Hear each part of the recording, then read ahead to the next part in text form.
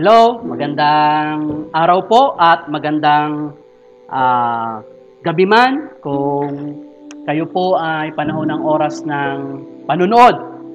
Dumako naman po tayo sa ginagawa po nating pag-aaral on exhortations about Prayer is Life ah, topical series. So ang ibabahagi ko po sa inyo ngayon ay isang tao na masasabi nating hindi siya common na naririnig natin. So ang isi-share ko po sa inyo ay ang karakter na pangalang Ipapras.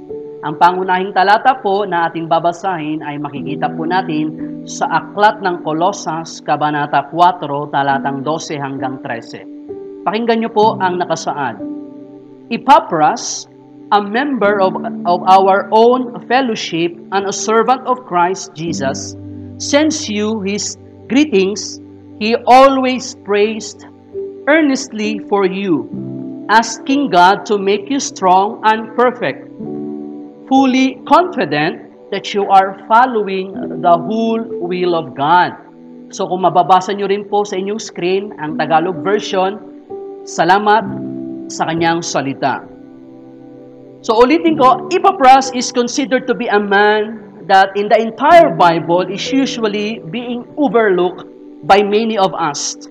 You know, when I've learned to study his life as a follower, faithful, or disciple of the Lord Jesus Christ, I found out that his character is worthy to emulate when it comes to evangelism, discipleship, and specifically in his prayer life. Now, let me just give you three, three points for us to determine sino nga ba si Epapras. Una mga kapatid, Epapras was a fellow servant of Apostle Paul. No? Kamanggagawa po siya ng ating dakilang apostol. Mababasa po natin sa Pilipos, or sorry, sa Pailimon, Kabanata 1, talatang 23. Ito po ang banggit. Kinakamusta kayo ni Epapras na kasama kong nakabilanggo dahil kay Kristo Jesus. Sa madaling sabi, in spite of their situations, they know each other well. At the same time, they have a spirit of accountability in spite na sila po ay nakakulong.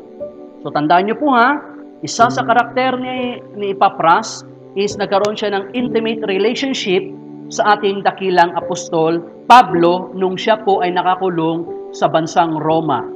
Okay? That's the first character. Alam niyo po ba mga kapatid, that Apostle Paul, when he wrote letter to the Coloss- Colossians believer, alam po ba natin na hindi po talaga siya ang nagtatag ng iglesia doon? Secondly, hindi po talaga nakadati, nakarating si Apostol Pablo sa lugar na iyon. However, in the second missionary journey, during the time he was visiting the church in the place Asia Minor, speci- specifically in Ephesus, according to Acts chapter 19 verse 10, pakinggan niyo po kung paano ang nangyari historically. Acts 19 verse 10. This went on for the next two years so that the people throughout the province of Asia, referring to Asia Minor, both Jews and Greeks, heard the word of the Lord. In other words, upon the preaching of Apostle Paul, uh, Apostle Paul doon po nakarinig ang dalawang contemporary uh, servants na si Philemon at saka si Epapras. At mga kapatid, si Epapras po lamang ang nagdadala ng mga letter from Apostle Paul to the Colossian believer. At the same time, Epaphras considered to be as the pastor of that church. So, not just he was a fellow, a ser- uh, servant of Apostle Paul. Secondly, ang ma- makikilala natin siya is the faithful servant of the Lord. Hindi lamang fellow uh, servant ni Paul, but also a faithful servant of the Lord.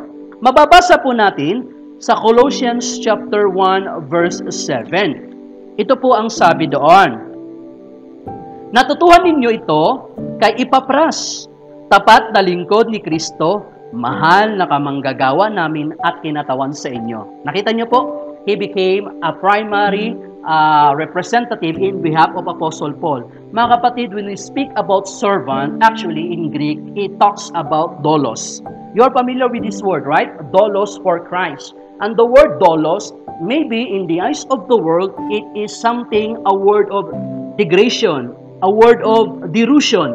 But you know, when Apostle Paul saying, as a faithful servant of Christ, he is saying that Epaphras, I am commending him for his faithfulness in the ministry. Yan po ang ibig sabihin. Now, para sa inyong kaalaman, if you we, we, will read in Colossians 1:7, sa English po, ito po ang mababasa natin.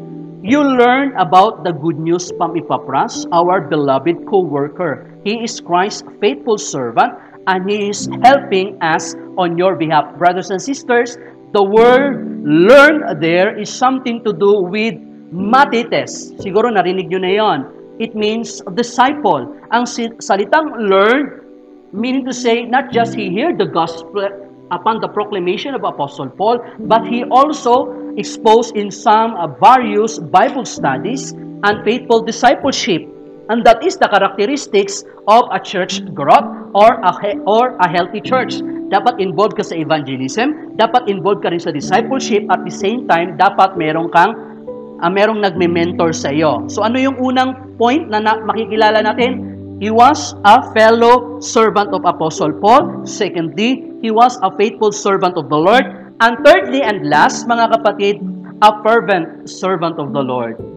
So, madali lang tanda, tanda no? Fellow, uh, faithful, at saka fervent servant of the Lord. Mababasa naman natin sa Colossians chapter 4, verse 12. Ito po ang, pang, ang banggit natin, which is talks about how Epaphras in his prayer and private life.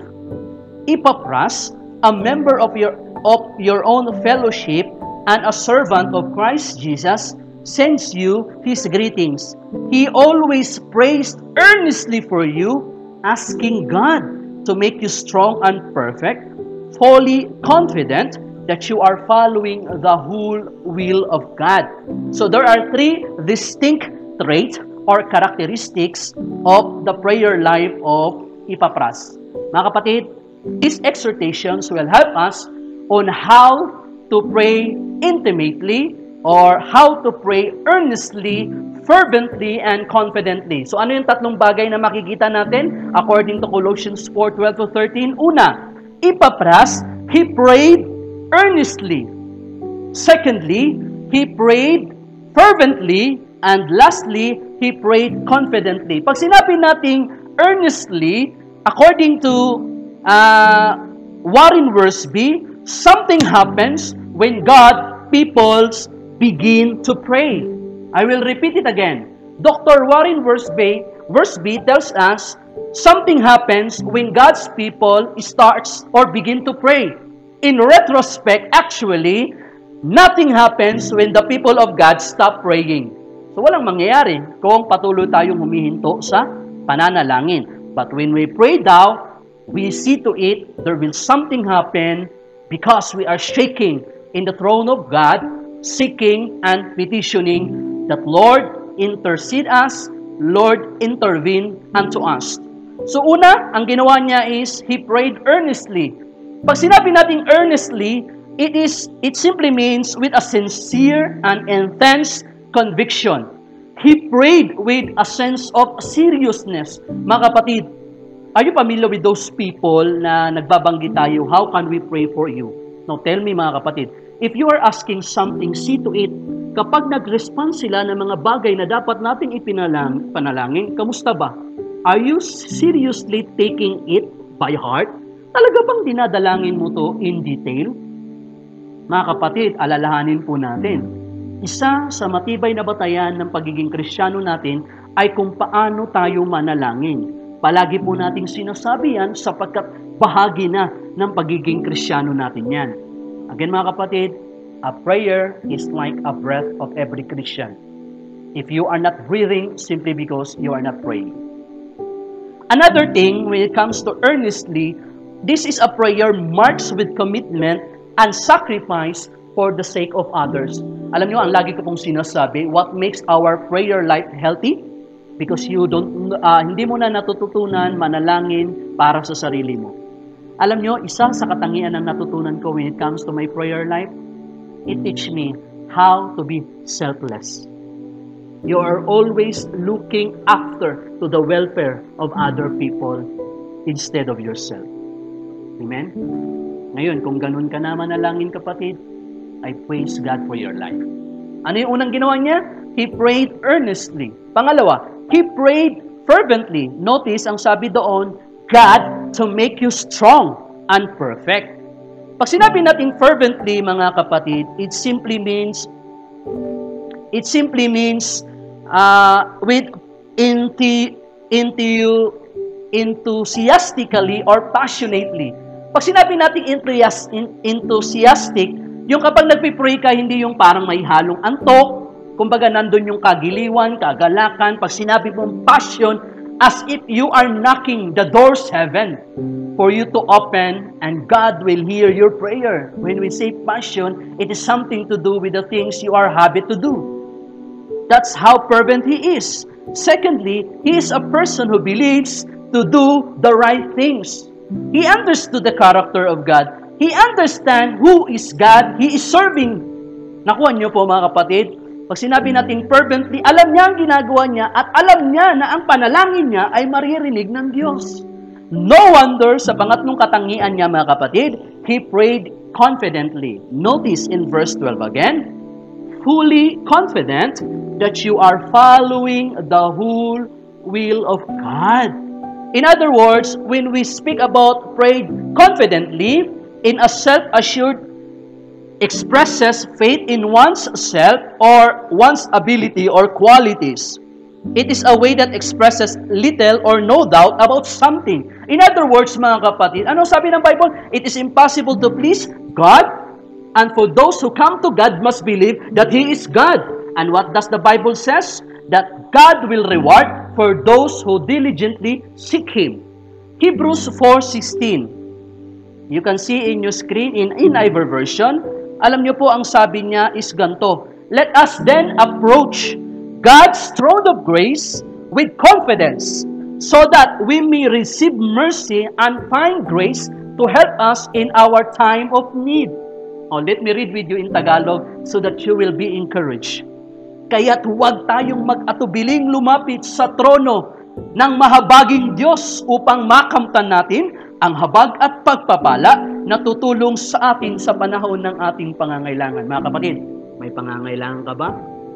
Ilapit mo sa ating mahabaging Diyos. Ipapras holds the unique distinction among all the friends and co-workers of Apostle Paul Did you know that even being only whom, whom, whom Paul explicitly commanded, alam po ba natin, yung, yung pinag-aaralan natin, Colossians chapter 2, 30, 4, 12 to 13, this serves as a diploma to Epaphras in his prayer or intercessory ministry with Apostle Paul. And we do believe that he was so much effective for that. Mga kapatid, according to Les Harrington regarding Ipapras, maganda ang kanyang comment, uh, commentary. Ipapras grasped what many of us are slow to realize that the tactics of the Christian battle are born of the strategy of prayer. Mga kapatid, maraming nagaganap sa tuwing tayo ay nananalangin. Application. Brothers and sisters in the Lord, when you see the unbelievers outside, they are busy in conforming to world worldliness. Okay lang. Kasi wala silang pagkakilala at relasyon sa Diyos. But you know what the problem is? When you see believers, ikaw at ako na nakikinig ng, ng exhortations na ito, all around the world, you know that our primary problem is prayerlessness. You see the comparison? The unbelievers is worldliness. The Christians are prayerlessness. In essence, we have nothing to compare to them. In short, wala tayong pinagkaiba sa kanila. Not praying simply means equates to conformity of the unbelievers of the world. Because we had done nothing impacting the heart of the Father, why He called us to meditate, to intercede in behalf of the world, not conforming to the world. Mga kapatid, our primary duty, why we keep on exhorting this about the value, the essence, and the power of prayer, you know why? Because again and again, we are knocking the door of heaven. As a challenge, naiiwanan ko po sa inyo mga kapatid, are you like Ipapras? To be honest, how much time you really invest in your prayer life? Kamusta ba talaga ang buhay pananalangin natin mga kapatid? If you will be graded today, do you think you will be passed? Hopefully not. And hopefully, this will encourage you to pray harder. Brothers and sisters, it is man's responsibility to ask, but always it is God's responsibility to give what we asked. My brethren, the, the truth of the matter is, it is not the answered prayer that the problem actually. It is the most of the time the offered prayer. Why?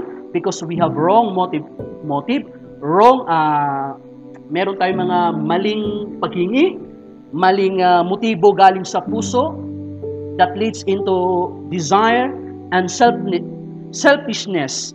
So as I close, whenever we pray, ask God to align into His will, not our own. Many people leads us, never understand the power of prayer. Sense of God, never, never. So start to pray for others. Be like Epapras. So mga kapatid, hopefully, be like Epapras. Thank you. God bless and always keep safe. God bless.